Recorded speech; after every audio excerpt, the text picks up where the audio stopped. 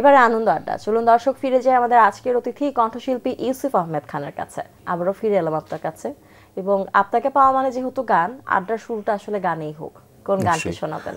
যেহেতু রমজান মাস একটা ইসলামিক গান দিয়ে শুরু করতে চাইছি। ইয়া মোহাম্মদ বেহেশত হতে খোদায় পাওয়ার পথ দেখাও এই দুনিয়ার দুঃখ থেকে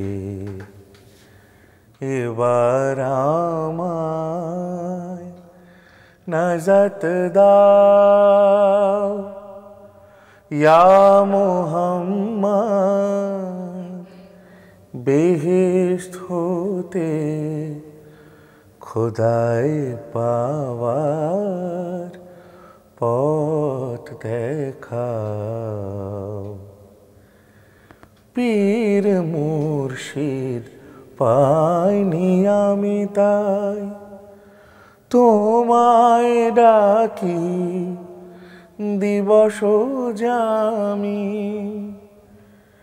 তোমারি নাম হোক হাজরাত আমার পর পারের নাও। এই দুনিয়ার দুঃখ থেকে এবার আমায় নাজত দাও।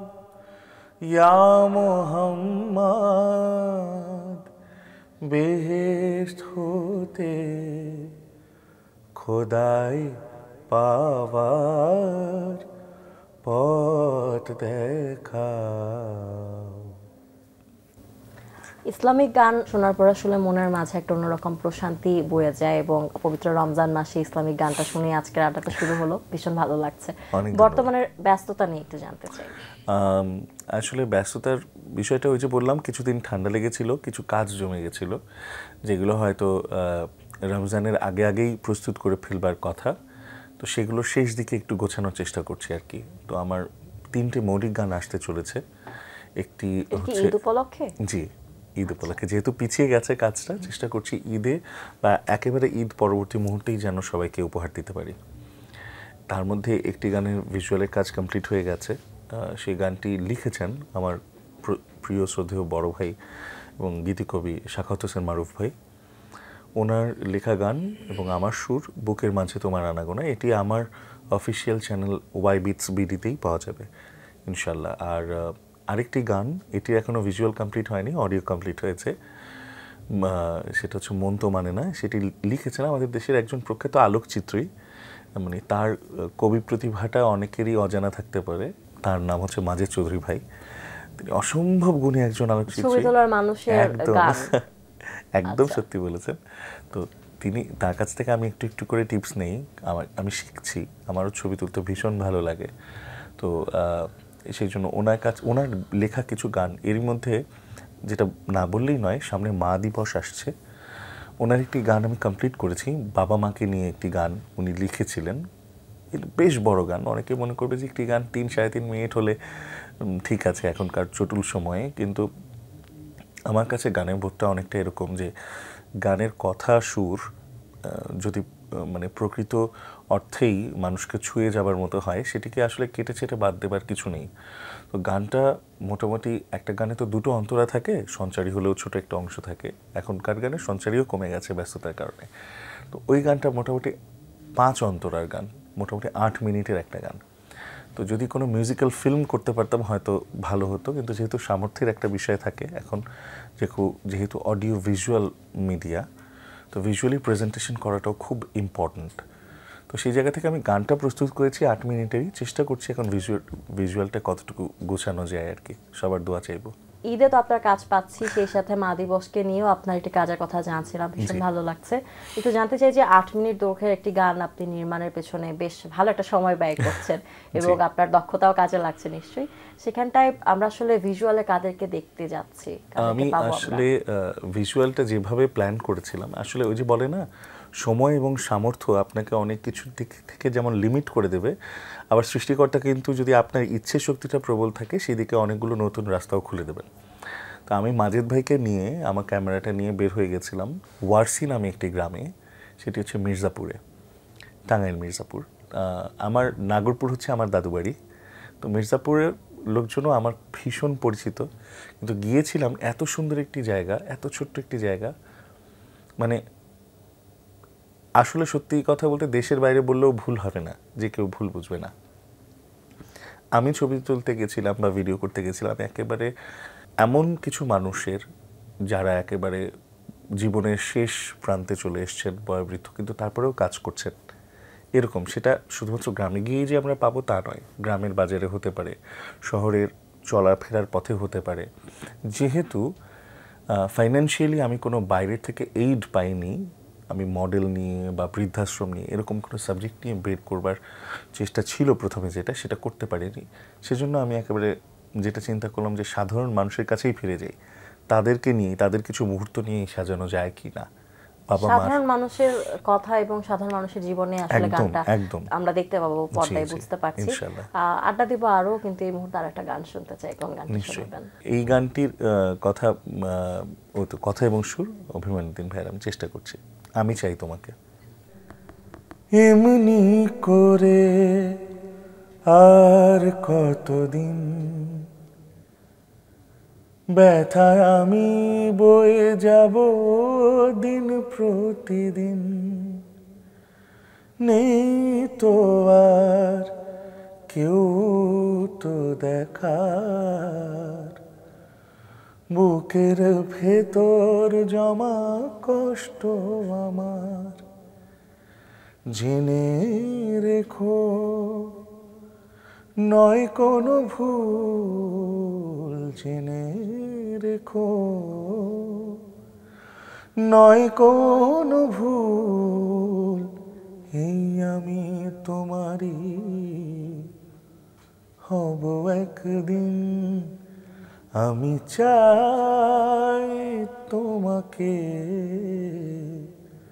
তুমি করে নাও তোমার আমাকে।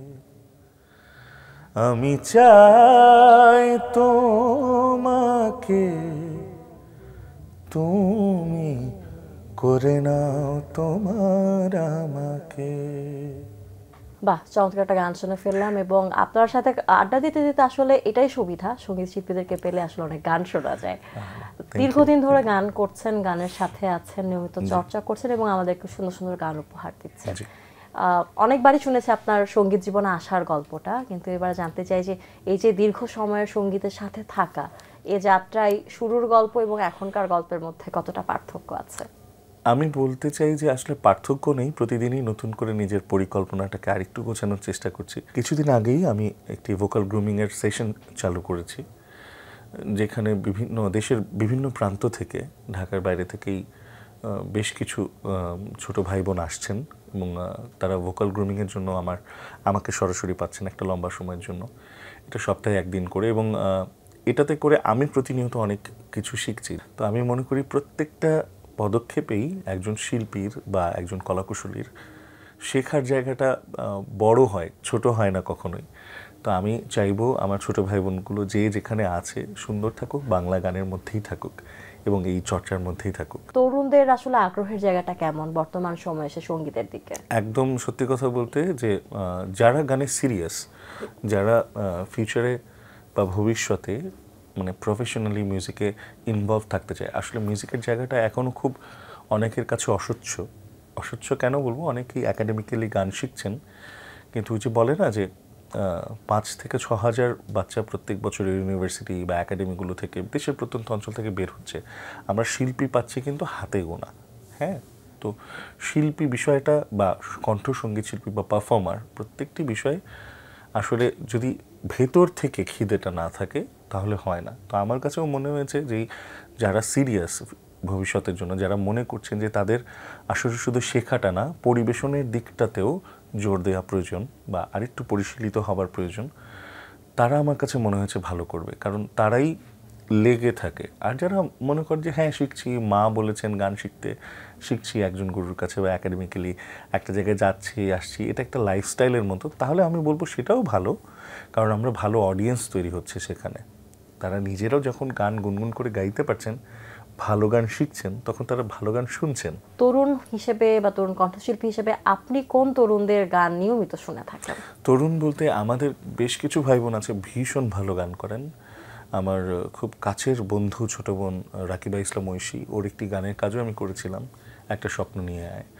ও এখন দেশের বাইরে আছে পড়াশোনার কাজেই গেছে গান নিয়ে পড়াশোনার জন্য গেছে। খায়রুল ওয়াসি আমার এক ভাই আছে ও ফোক গান করে বিশেষভাবে ভীষণ ভালো গান করে ভীষণ ভালো।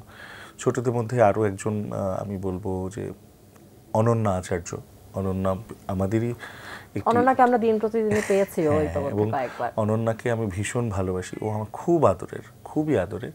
তাছাড়া তৃষা একজন মেয়ে আছেন। ও চট্টগ্রামের বাড়ি ও সেরা কণ্ঠের ওয়ান অফ দ্য আপনি যাদের নামগুলো বলছিলেন কিছুক্ষণ আগে খায়রুল ওয়াসির কথা বৌশির কথা তাদের সবাইকে আমরা কম বেশি কিন্তু পেয়েছি এবং। তরুণদের মধ্যে তারা বেশ আলোচিত তাদের গান নিয়ে এবং ভীষণ ইতিবাচক ভাবে তারা কিন্তু একটা গ্রহণযোগ্যতা পেয়েছে। সত্যি ভীষণ ভালো। তারপরে আবার কিছুদিন আগে আমার আরেক ভাই ঋতু ঋতুরাজ ওর বুলবুলি গানটা ভীষণভাবে পরিচিতি পেল। নজরুলের গানের সাথে একটু ব্লেন্ড করে নন্দিতা সঞ্জিতা মাহমুদ নন্দিতা ভীষণ ভালো ভয়েস মার্শাল্লাহ এই যে এদের গানগুলো শুনলে ভালো লাগে। দশ বছর পর ইউসুফ আহমেদ খান নিজেকে কোথায় দেখতে চান? ছোট্ট করে জানব আমরা একদমই শেষ পর্যায়ে চলে দশ বছর পরে এখনও আমি দশ বছর কেন? বিশ বছর বা ত্রিশ বছর যত বছরই পড়েন আমি আমার বাবার কাছেই দেখতে চাই যে তালিম নিচ্ছি। যেন আমি বাবার কাছে তালিম নিয়ে আরও গুছিয়ে নিতে পারি। আর আমার ছোট ভাই বোনগুলোকে আরেকটু প্রতিষ্ঠিত অবস্থানে দেখতে চাই। এই আর কি। শুভকামনা আপনার জন্য আপনার বাবার জন্য এবং আগামীর জন্য। আপনার কণ্ঠে একটি গান শুনতে শুনতে বিদায় নেব কিন্তু তার আগে দর্শকদের কাছ থেকে বিদায় নিয়ে আসি। নিশ্চয়ই। প্রিয় দর্শক, এতক্ষণ কথা হচ্ছিল অতিথির সঙ্গে। এবার সময় হলো বিদায় নেবার। আমাদের অনুষ্ঠান সম্পর্কে আপনার যে কোনো মতামত পরামর্শ জানাতে লিখুন এই ঠিকানায়। প্রযোজক, দিন প্রতিদিন বাংলা ভিশন, নূর টাওয়ার, একশো দশ বীরুত্তম সিআর দত্ত রোড, ঢাকা এক দুই শূন্য পাঁচ, ফোন নয় ছয় তিন দুই শূন্য তিন শূন্য থেকে চার। আমাদের ইমেল অ্যাড্রেস, দিন প্রতিদিন at Bangla vision dot TV আল হাদিসে বলা আছে, বিদ্যার মতো চক্ষু আর নেই, সত্যের চেয়ে বড় তপস্যা আর নেই। প্রিয় দর্শক সবাই ভালো থাকুন সুস্থ সুন্দর থাকুন। আজ সারাটা দিন সবার জন্য শুভ ও কল্যাণময় হোক। এবারে গান। দর্শক শ্রোতা বন্ধুরা যে যেখানে থেকে আজকের বাংলা ভিশনের পর্দায় আমাদের আজকের এই আয়োজন দেখলেন তাদেরকে আন্তরিক কৃতজ্ঞতা এবং আপনারা সবাই যদি এইভাবে বাংলা গানের সাথে থাকেন তাহলে আমাদের নতুন গান করে এগিয়ে যাওয়ার এই প্রচেষ্টা সফল হবে। সবাই ভালো থাকবেন আমাকে দোয়া করবেন। আমি আজকের এই অনুষ্ঠানের শেষ পরিবেশনাটা একটি হামদ গাইতে চাইছি। শোনা अल्लाह जी अल्लाह जी রহম করো